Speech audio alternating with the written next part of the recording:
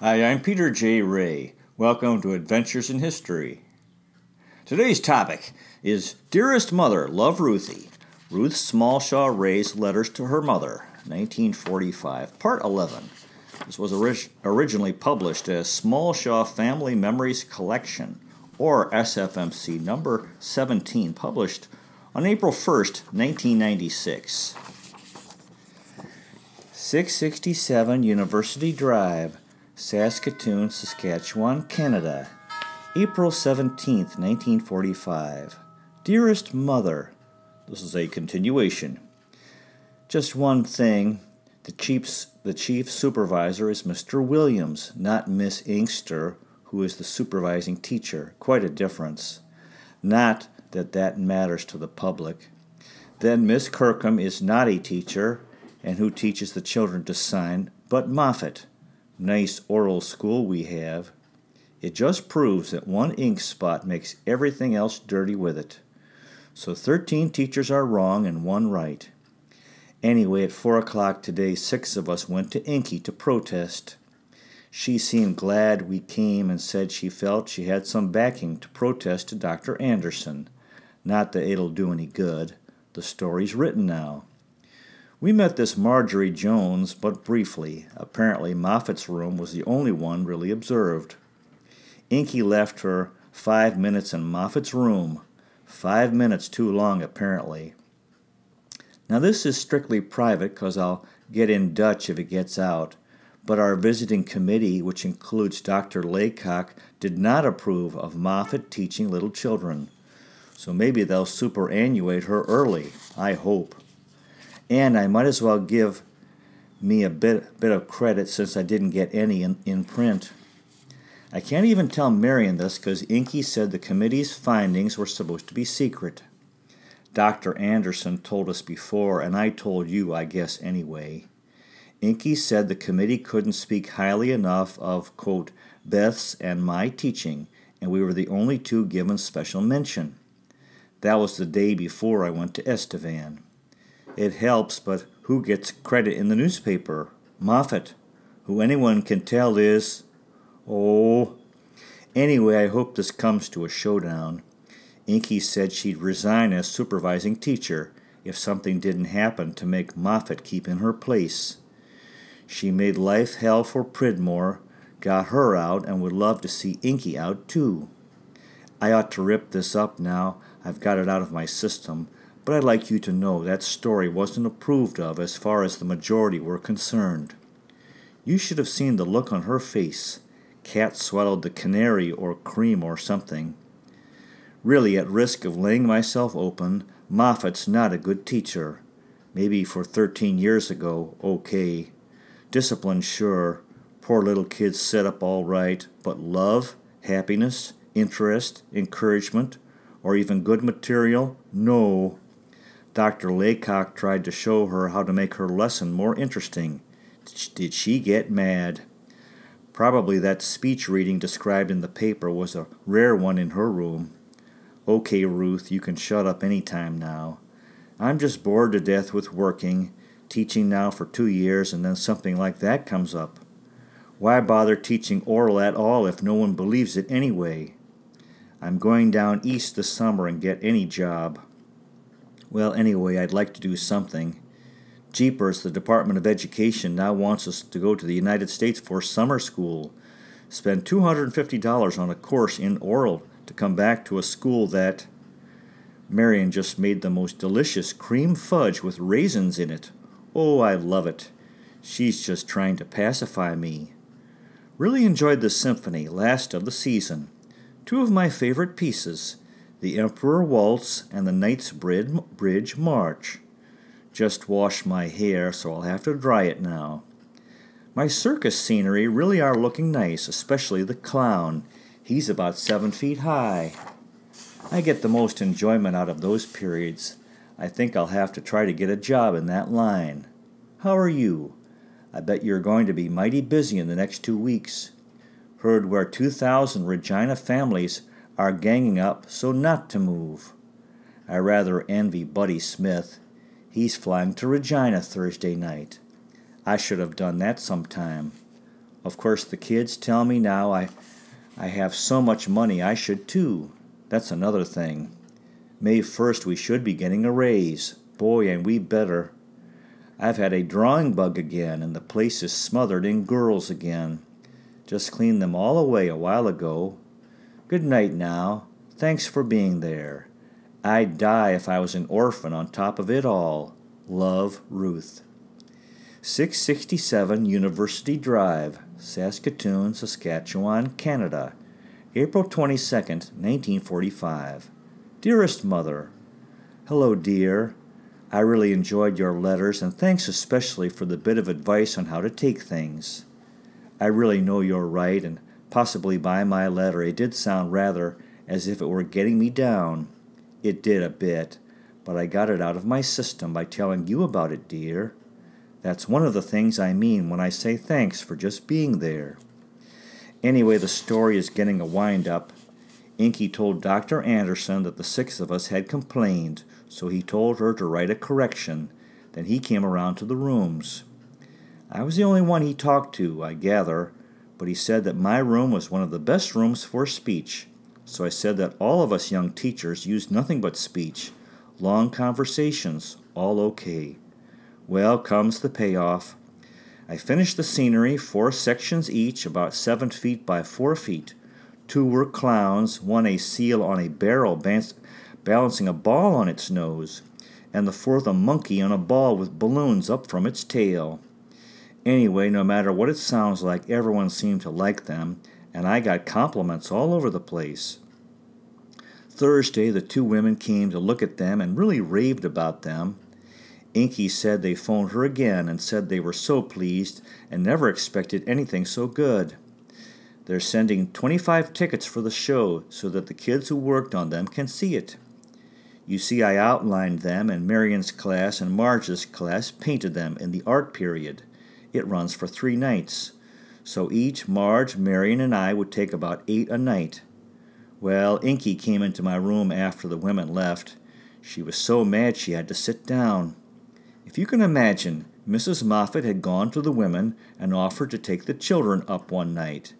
And she hadn't done a thing, yet there she was, ready to take credit for the school.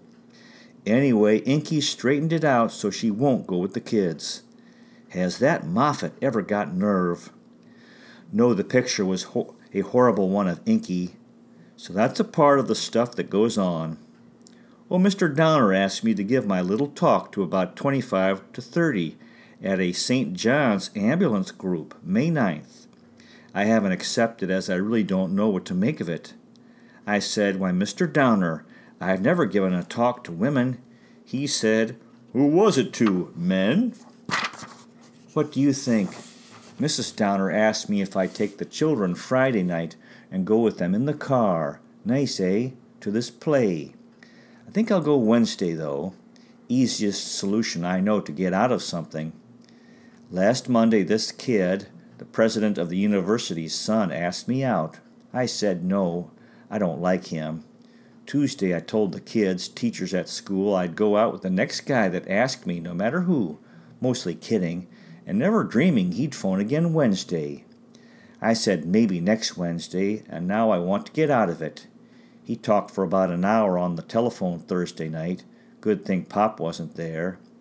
Yes, dear, Frank's gone after that last dance he got his posting. It was nice while he was here, though. It's been very dead since which led me to make the statement I'd go out with the next guy. Will you forgive me for something? Is it the first or the end of May you'll be moving?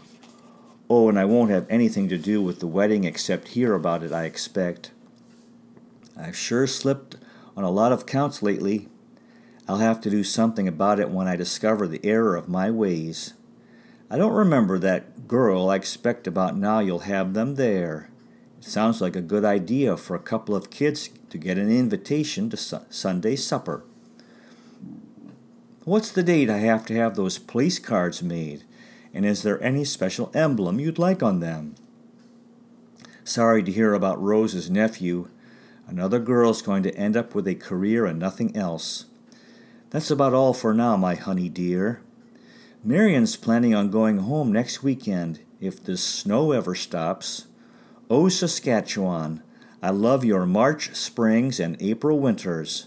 Bye, dear. I love you, and I'll come home any. Well, I'll come if you want me. Ozzie and Harriet, cute. Love, Ruthie.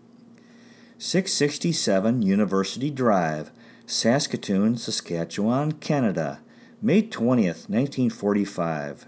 Dear Mother, Hello, darling. Did you miss me this weekend? Because I certainly thought a lot about you. Did I tell you I had a nice time when I was home?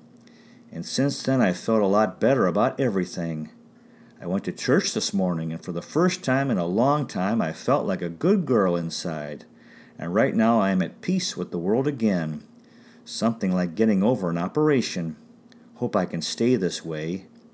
Everything's going to work out all right, I hope. Beth and I found out from the bank that we can take $250 into the United States without any trouble, and we think we'll take it in traveler's checks to be okay. Also, we can go see Pete to Regina from 4 to 9 a.m. and then on to Windsor. That's with the understanding that we get our visas okay. Also, Mrs. Holtby has started on my jersey dress, blouse, and so I feel a bit better that way. Then I'll start clearing things up at school too this week.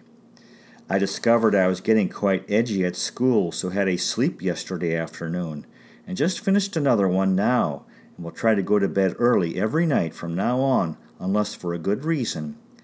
Nothing like good resolutions anyway, but I do want to keep well. Marge, the other girl going with us, has been in bed for a week with the flu, but will be better. Oh, please, Mom, if you can, get me a set of grips, one large and one small in black, and I'll pay you later. There's absolutely nothing here. I do hope they aren't all gone. Let me know very soon, please. I enjoyed your letter yesterday and glad you've done a few things. I'll tell J.M. about the place cards, too. How about ordering blinds from Eaton's or that other place you mentioned?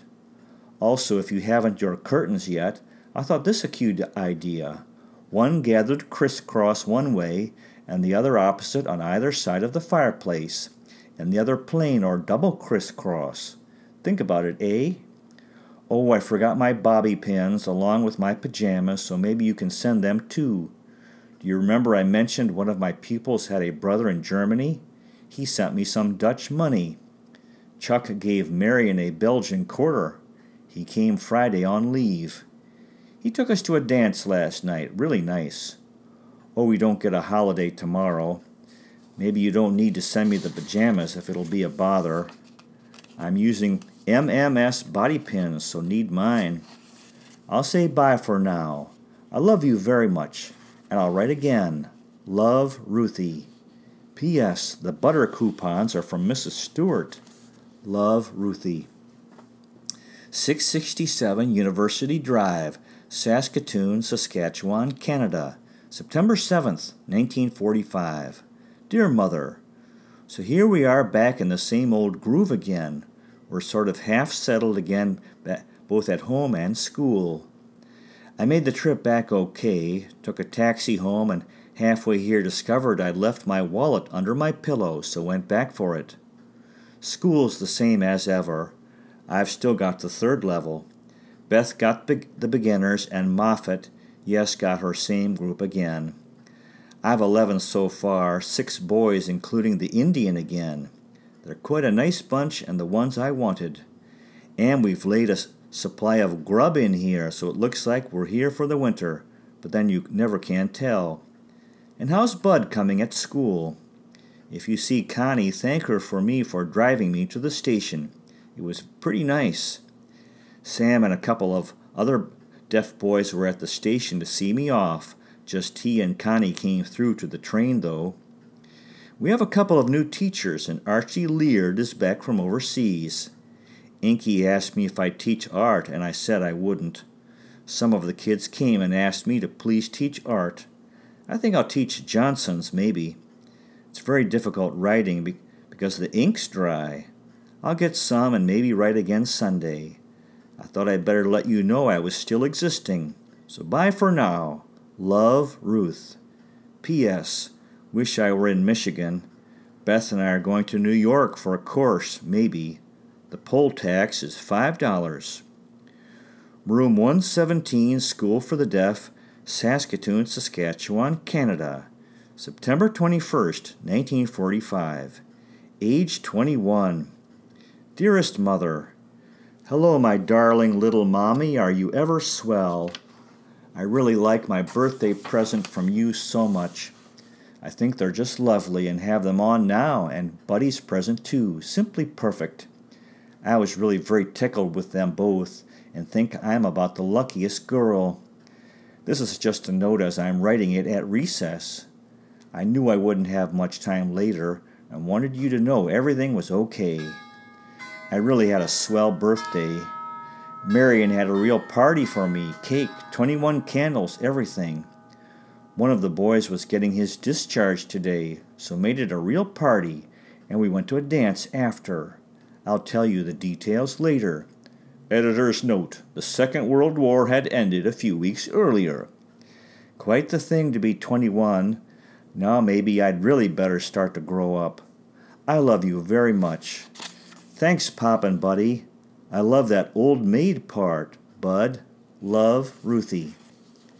667 University Drive, Saskatoon, Saskatchewan, Canada. September 23rd, 1945. Dearest Mother, Hello there, you wonderful woman, you. How does it feel to have a daughter old enough to vote? Or do we just forget about that from now on? Well, I'm not exactly crazy about the idea myself, because it's about it's about time I had something to show for these years of toil. So I guess it's about time I began acting my age, if possible. It's quite the life, though. Of course, everyone at school, from our dear bursar to the engineers, and of course the kiddies, all wished me happy birthday. Mr. Downer came in the morning and said he wished the children weren't there so he could do it properly. The old. Mm. So at noon he called me and said I was wanted in my room. I didn't go. He waited up there about fifteen minutes. I guess he was pretty mad, but come four o'clock and he was back again. Honestly, of all the trouble. He never noticed Beth in the room and was just going to make it good, so I turned and got a cheek full of mustache. I don't know how the janitors even knew, but they all stood in the door and sang, She's 21, 21, she's 21 today. To think I've been there since I was 18, long enough. Now a $5 poll tax and I can vote. Well as, well, as I said, Marion had a really swell little party for me. A cake with Happy Birthday Ruth, and I blew out all 21 candles, so I'd better get that wish. Chuck bought the groceries and a bottle of olives for me. One of the kids was getting his discharge Friday, so they were really celebrating. It was a lot of fun, and we went dancing. Marshall phoned in the middle of the party. Marion took matters into her own hands and said I was out. As a matter of fact, he's phoned every night this week. He didn't know when my birthday was exactly, but asked if I'd like to have a party at his place. Anyway, he asked me where I was when he phoned the next night. Lloyd was over for supper, and Marshall kept asking questions. He asked me to go to the cap with him, and when I said I couldn't, he said he'd phone me next month. It's really getting past the corny stage. Anyway, the kids took Marion and I to the show at the cap. Incendiary Blonde. Did it snow down there? So help me, what a country. Just because it's been called the first day of winter on September 21st, it snowed all day and has been raining ever since. We've got pans all over the garage. It leaks this year. Well, honey bun, I'll say bye again and thanks a million for my birthday presents. Sure enough, swell. I love you. Hi, Poppin' Buddy. Love, Ruthie. 667 University Drive, Saskatoon, Saskatchewan, Canada, October 18th, 1945. Dearest Mother, but definitely nice of you to send on the things I forgot in my mad rush. I was really hoping that you would think of it before I asked, and I certainly did need them.